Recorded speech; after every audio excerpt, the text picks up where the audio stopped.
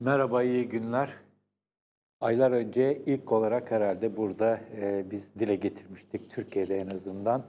E, Fethullah Gülen'in oluşturduğu yapılanma içerisinde yurt dışında bir tartışmanın uç vermeye başladığını, özellikle sosyal bilimciler, bu hareketin içerisinde yer alan bazı sosyal bilimcilerin hareketi ve hareketin ötesinde hareketin başındaki Fethullah Gülen'in kendisini doğrudan açık bir şekilde eleştirmeye başlamışlardı. Orada Kıtalar Arası adında bir e, internet sayfasından ve siyaset bilimci olan e, Ahmet Kuru, Gökhan Bacık ve Özgür Koca'nın yazılarından söz etmiştik. O e, web sayfası sürüyor, orada yazılar devam ediyor. En son olarak Ahmet Kuru yine bu konuda çok açık, net bir yazı yazdı. E, onun ardından bunların başlattığı, bu üç kişinin başlattığı tartışmaya başkaları da bir şekilde dahil oldu. Dahil olanların önemli bir kesiminin onların dile getirdiği eleştirileri, e, suçlamaları, itirazları vesaire bertaraf etmeye çalıştıklarını gördük. E, bu daha çok yani eleştirenlerin eleştirisi şeklinde oldu. Ama e, bazı noktaları e, katılanlar da oldu. Genellikle şu tür yaklaşımlar vardı. E, bunların bir kısmını hakikaten biz de katılıyoruz ama bunları alenen konuşmak doğru değil. Zaten zor bir dönem geçiriyoruz e, vesaire. Bunlar yapılmaması lazım. Yani bir kol kırılır yen içinde yaklaşımı da çok baskındı. Ama e, bütün bu eleştirilere üstü kapalı e, gözdağlarına rağmen o kıtalar arasını yapanlar yayınlarını sürdürdüler, sürdürüyorlar.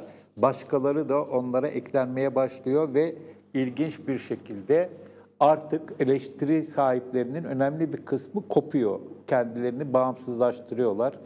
Dışarıdan bir dönem o hareketin içerisinde, o yapının içerisinde yer almış kişiler olarak e, hareketi eleştiriyorlar. Genellikle ondan cemaat diye bahsediyorlar. Onlara cevap verenler de o malum hizmet ya da hizmet hareketi demeyi tercih ediyorlar. Yani birisi cemaat diye karşı tarafta birileri hizmet diye onlara cevap vermeye çalışıyor. Böyle giden bir süreç var ve bu süreçte e, bayağı bir yol kat edilmek üzere çok ciddi sorgulamalar yapılıyor. Az sayıda kişi tarafından ama çok hayati meseleler sorgulanıyor. Şimdi burada çok ilginç başka bir olay yaşandı. Ee, Engin Sezen adında Kanada'da yaşayan ve bu harekette bir şekilde ilişkili olan ama bir mesafesi de olan bir akademisyen The Circle hatta Join the Circle üstte bir join diye birleştir katılın anlamında Circle çember demek, daire demek. Ee, orada e, röportajlar yaptı. Anlaşıldığı kadarıyla bu röportajların bir kısmı e, mülakatlar, yazılı sorulara gelen cevaplar. Bir kısmı herhalde telefonla, WhatsApp'la ya da Skype ile olabilir. Çünkü burada var olanların önemli bir kesimi e, Türkiye dışında yerlerde yaşayan insanlar. Benim gördüğüm ciddi alınabilecek 10 e, tane farklı mülakat okudum. Bunlardan 3 tanesi yurt dışında yaşayan gazeteciler. Adem Yavuz Aslan, Bülent Korucu ve Aydoğan Vatandaş. E, dördü akademisyen, Savaş Genç, İhsan Yılmaz, Özgür Koca ve Gökhan Bacık. Gökhan Bacık ve Özgür Koca zaten kıtalar arasında eleştirileri yapan kişiler. Birisi Ali, Ali Yurtsever adında akademisyen olan ama aynı zamanda da bu yapının Amerika'daki örgütlenmesinde bir dönem çok etkili olmuş olan bir isim. Biri de Gazeteciler ve Yazarlar Vakfı'nın eski başkanı, başkanlarından Harun Tokak. Birbirinden farklı e, mülakatlar ve buralarda baktığımız zaman şöyle bir yaklaşım görüyoruz. Üç yaklaşım var. Birincisi aslında her şey iyi ve her şey çok iyi olacak yaklaşımı. Bunu yapanlar daha çok gazeteciler oluyor ya da e, STK'larda yani bu yapının e, kurumlarında görev almış kişiler de oluyor. Mesela Ali Yurtsever, Harun Tokak gibi isimler e, çok fazla eleştiri, biz de eleştiriyoruz canım tadında bir takım lafları var ama çok da fazla bir şey söylemiyorlar. Genellikle yöneltilen eleştirileri bertaraf etme yoluna gidiyorlar. Benzer bir şeyi gazeteci Bülent Korucu'da da görüyoruz. O da eleştirenlerin eleştirisini daha çok yapıyor. Ee, ama akademisyenlere baktığımız zaman zaten Gökhan Bacık ve Özgür Koca'yı bahsettik. Onlar çizgilerini daha da ileri noktalara taşıyarak ki Özgür Koca artık e, bir cemaat dediği yapıyı bir öteki yapı olarak, bir umutsuz vaka olarak görüyor. E, öyle bir e, yaklaşımı var. Ama beni en çok etkileyen buradaki mülakatlarda en çok etkileyen e, bir başka siyaset bilimci Savaş Genç oldu. Savaş Genç aslında kıtalar arasının başlattığı tartışmaya da dahil olmuştu. Orada yazısı çıktı mı şu anda çok emin olamadım ama e, benzer bir dalga boyunda gidiyor. Bir dönem burada önemli Fatih Üniversitesi'nde mesela Uluslararası İlişkiler Bölümünün başkanlığını yapmış. E, Zaman Gazetesi ve STV'de yorum yapmış, Aksiyon Dergisi'nde yazarlık yapmış birisi ama şu anda Avrupa'da yaşıyor anladığım kadarıyla ve tam bir kopuş yaşamış, yaşıyor. Onun söylediklerinden bazı bölümleri okumak istiyorum. Bunların çok önemli olduğunu düşünüyorum. Ee, biraz uzun olabilir, kusura bakmayın. Ortada hala cevaplanmamış çok ciddi ve insanın içini acıtan sorular var. Neden ısrarla hiç hata yapılmadı söyleminin ardına saklanılıyor? Bu cemaati kastediyor. Neden hala tek hata AKP'ye güvenmiş olmaktır savunmasıyla topa top taca atılıyor ki bu çok en çok yapılan yaklaşım bu. Hatamız AK Parti'ye ve Erdoğan'a güvenmekti. Bizi kandırdı. Yani bir diğer Erdoğan'ın bizi kandırdıların e, Fethullah Gülen ve çevresi tarafından dile getirilen versiyonu. Neden hala toplumsal algının değiştirilmesi için söylem geliştirilmiyor ve AK Parti, AKP bir gün çekip giderse her şeyin düzeleceğine inanılıyor. Baktığımız zaman eleştiri yöneltmeyen insanların büyük bir kısmının AK Parti sonrası dönem için e, hazırlık yaptığı, o günün bir şekilde geleceği ve ondan sonra her şeyin düzeleceği yaklaşımına sahip olduklarını görüyoruz. Savaş Genç bunu çok ciddi bir şekilde eleştiriyor. Hiçbir acı tecrübenin cemaatin karar alma mekanizmasının sosyal olaylara bakış açısını değiştirmeyeceği algısı, Türkiye'de 15 Temmuz sonrası oluşan acımasız sosyolojinin değişmesine mani oluyor. Karar alma mekanizmasındaki insanların pasaportları, bu çok ilginç bir cümle, çok şaşırttı beni açıkçası. Karar alma mekanizmasındaki insanlar derken tabii ki Fethullah Gülen başta olmak üzere o yukarıdaki çekirdeği kastediyor. Bu insanların pasaportları seneler önce iptal edilmiş olsa ve ülke içinde yaşamaya mecbur kalmış olsalardı, hareket bu kadar ön plana çıkıp riske girer miydi ve yaşadığının yüzde kaçını yaşardı sorusu aklımdan çıkmıyor. Bu çok e, sert bir soru aslında. Yani mealen Fethullah Gülen Türkiye'de kalsaydı bu yaptıklarını yapar mıydı e, diyor Fethullah Gülen ve diğer üst düzey yöneticiler. 28 Şubat'ta bu hassasiyetle davranıp dengeli stratejilerle süreci takip edenler hangi sahiplerle tamamen farklı bir yolu tercih ettiler. Tüm yapısal sorunlar, tayinleri bile cezalandırma yöntemi. Tayin derken e, bu yapı kendi içerisinde bir yerden bir yere insanları tayin ediyor. Yani bir ülkeden bir ülkeye, bir okuldan başka bir okula, bir kurumdan bir başka kuruma. Bu çok yaptığı bir şey ve Fethullah Gülen'in kimi zaman ödüllendirmek ama çokça da cezalandırmak için başvurduğu bir yöntem. Soru çalanlar, delil uyduranlar ve kendi cemaat arkadaşları dahil olmak üzere usulsüz dinleme yapanların varlığı. Evet bu çok e, yıllardır dile getirilen ve yıllardır dile getirildiği zaman bu yapı Türkiye'de güçlü olduğu zaman da tamamen bir karalama vesaire diye reddedilen şeyleri artık içeride önemli yerlerde bulunmuş birisi e, soru çalmayı, delil uydurmayı hepsini bir şekilde kabul edildiğini görüyoruz ve kendi cemaat arkadaşları dahil olmak üzere o sözsüz dinlemeler yapmak diyor ki bu çok e, acı acı değil aslında yani çok çarpıcı bir olay. Bütün bunların varlığı neden bir öğretmen ve esnafın boynuna asılı kaldı? Yani Türkiye'de bedeli, şimdi öğretmenler, esnaflar alt düzeydeki bu yapıya sempatiyle bakan insanlara ödetiliyor. Evet bu çok önemli bir sorun. Daha önce burada e, Ege Denizi'nde yaşanan ya da Meriç Nehri'nde yaşanan facialarla ilgili olarak söylediğimde hep şunu özellikle vurguluyorum. Birileri gayet rahat bir şekilde çıktılar, gittiler ve hayatlarını bir şekilde sürdürüyorlar. Ama çok alt düzeyde insanlar, belki çok az teması olan insanlar, sempatizan düzeyindeki insanlar çok büyük mağduriyetler yaşıyorlar. Dramlar, trajediler yaşıyorlar. Benzer bir şeyi burada Savaş Genç de söylüyor. Hiçbir somut delil bulamayınca masum insanları e, vesaire bu insanları aynı anda kabul bırakmak kabul edilebilir değil. Bir soru var. Nasıl çıkar düzlüğe diye bir soru var. E, buna da çok olumsuz bir cevap, e, kötümser bir cevap veriyor. Ve şunu söylüyor Savaş Genç. Sadece havuz medyasının seviyesiz yayınları ile imaj kaybına uğranıldığına inanılmak, inanmak çözümsüzlüğe mahkum olmaktır. Demokratmış gibi yaparak modern dünyaya sadece marjinal gruplardan daha iyi bir yerlerde duruyor sinyalini verirsiniz. Yani şu anda İslam dünyasında İslami hareketler, İslamcılık denince akla gelen hareketler o kadar Batı nezdinde tehlikeli, e, şiddetle içe geçmiş hareketler ki herhangi bir şiddete başvurmayan, e, yumuşak konuşan, sakin konuşan herkes demokratmış gibi görülebiliyor ya da tercih edilebiliyor. Bunu vurguluyor.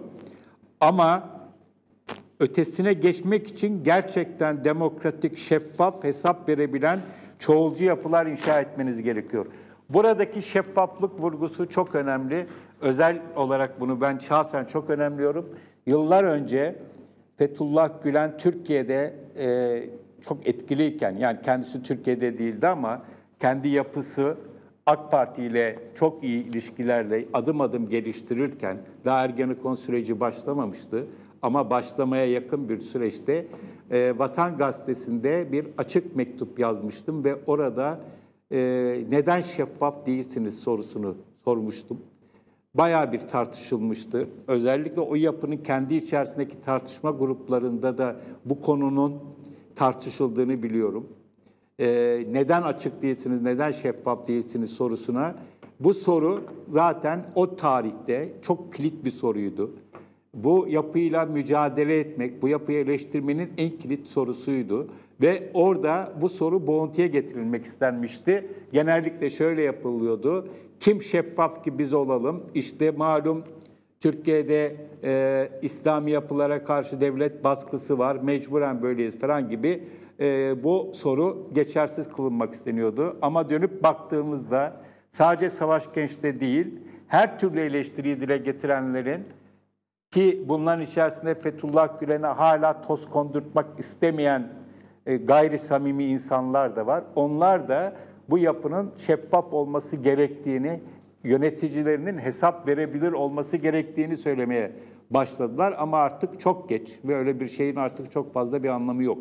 Buradan ne çıkar? Buradan benim gördüğüm kadarıyla kopuşlar bireysel olarak devam edecek ama burada şöyle bir soru var. Yurt dışında özellikle yaşayan insanların kendi başlarına kaldıkları zaman hayatlarını idame ettirebilmeleri çok zor olabiliyor. Dolayısıyla yapının içerisinde kalmak e, bir garanti olabiliyor yurt dışında. Özellikle dil bilmeyenler için ya da belli bir e, para kazanabilme imkanları olmayanlar için e, onu görmek lazım. Ama e, çok ciddi bir şekilde bir sorgulama var. Bir beklenti vardı belli ki kısa bir süre içerisinde işler tekrar düzelecek, kendiyle ellerine düzelecek beklentisi. Aradan bayağı bir zaman geçti. 15 Temmuz'dan bu yana bayağı bir zaman geçti. Pek bir şey değişmiyor, operasyonlar sürüyor ve e, yurt dışındaki etkileri de eskisi kadar olmayabiliyor. Özellikle Afrika ülkelerinde ve bazı Asya ülkelerinde e, AK Parti iktidarının var olan yönetimlere yaptığı baskılar sonucu birçok okulun kapatıldığını da görüyoruz, duyuyoruz. Dolayısıyla bir e, tedirginlik halinin daha fazla öne çıktığını buralardan görebiliyoruz. Her şey güzel olacak söylemine sahip olanların da herhangi bir maddi zeminleri yok. Bir diğer husus e, çok e, hayatlarına mesela baktığınız zaman gazeteci olarak konuşanlara ya da akademisyen olarak konuşan ve eleştirmeyen, hala Fethullah Gülen'e toz kondurtmamaya çalışanların da çok aslında bir anlamda buruk ve e, kırgın olduklarını görüyoruz. E, bunların büyük bir kısmını tanıyorum ve bunlar e, benim bildiğim kadarıyla yaptıklarının hepsini bilinçli olarak yaptılar. Bütün bu olayın bir parçası oldular. Hala kendilerini buruk ve e, mağdur durumda göstermek isteyenler e, gazetecilerin içerisinden tanıdıklarım var, akademisyen e, olanlardan tanıdıklarım var. E, bunlar bu çarkın çok bilinçli parçaları oldular.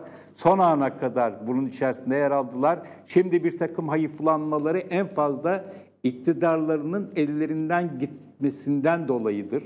Onun için bunların hayıflanmalarının samimi olduğunu düşünmüyorum. Ancak Savaş Genç gibi, Gökhan Bacık gibi ya da Özgür Koca gibi, Ahmet Kuru gibi isimlerin eleştirilerinin çok sahici olduğunu ve bunun bir karşılığı olduğunu ama bu karşılığını bulmasının biraz zaman alacağını tahmin ediyorum. Ee, bu yapı artık kesinlikle eski günlerinden çok uzakta. Kendi ayakları üzerinde durma konusunda e, yeteneklerini ve kapasitelerini bayağı bir e, yitirmek durumda. Ne zamandır dikkat ederseniz Fethullah Gülen'in de sesi pek çıkmıyor ya da kendisine yabancı medya artık çok fazla ilgi de göstermiyor.